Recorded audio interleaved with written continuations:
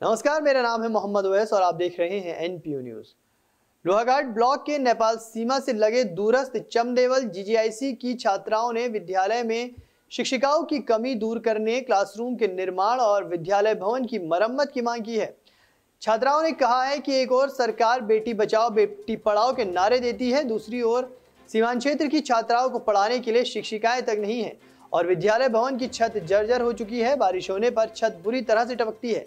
वहीं क्लासरूम की कमी के चलते उन्हें बाहर बैठकर पढ़ाई करनी पड़ती है। छात्राओं ने प्रदेश के शिक्षा मंत्री धन सिंह रावत और शिक्षा विभाग से जल्द से जल्द शिक्षिकाओं की कमी दूर करने क्लासरूम के निर्माण और विद्यालय भवन की मरम्मत करने की मांग की है। वहीं विद्यालय के पीटीए अध्यक्ष माधवानंद कॉलोनी ने कहा कि विद्यालय के हाल काफ़ी बुरे हैं। विद्यालय में ना तो प्रधानाचार्य है, ना ही पूरी शिक्षिकाएँ हैं। छात्राओं को पढ़ने के लिए मौजूद हैं। छात्र छह शिक्षिकाओं के भरोसे इतना बड़ा सीमांत क्षेत्र का विद्यालय चल रहा है, जहाँ दूर दूर से क्षेत्रों से छात्राएँ पढ़ने आती हैं। यहाँ क्लरिकल और चतुर्थ श्रेणी का स्टाफ तक नहीं है, वहीं गणित और विज्ञान जैसे महत्वपूर्ण विषयों के लिए टीचर नहीं है, जिस कारण सीमांत क्षेत्र की छात्राओं की पढ़ाई पूरी तरह से प्रभावित हो रही है। मेरा नाम जिया कॉलोनी है। मैं राजकीय इंटर कॉलेज चमजौल की कक्षा दस की छात्रा हूँ। जिसमें मैं इस विषय पर बात करना चाहती हूँ कि हमारे स्कूल में, हमारे स्कूल में विज्ञान और गणित की टीचर ना होने के कारण हमें बहुत दिक्कतों का सामना करना पड़ रहा है। इसमें कुछ हमारे, मेरे साथ के कुछ छात्र हैं जो मतलब इन विषयों के कारण दूसरे स्कूल में जा चुकी है। यह बहुत सीमांत क्षेत्र होने के कारण बेटी बचाओ और बेटी पढ़ाओ का नारा सही साबित नहीं हो रहा है।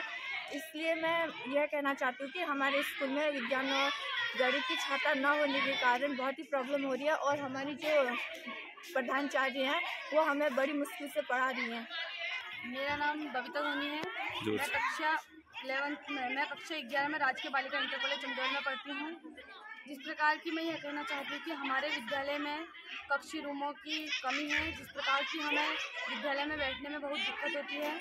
जिस जिस प्रकार की हमें बारि, बारिश के मौसम में भी बहुत दिक्कत पठन पाठन में हमें दिक्कत होती है हमें बरामदे में बैठना पड़ता है। कक्षी रूमों की बहुत बड़ी बहुत बड़ी अति बहुत अति आवश्यकता है। हम सरकार जो है कि बेटी बचाओ बेटी पढ़ाओ का नारा दे रही है।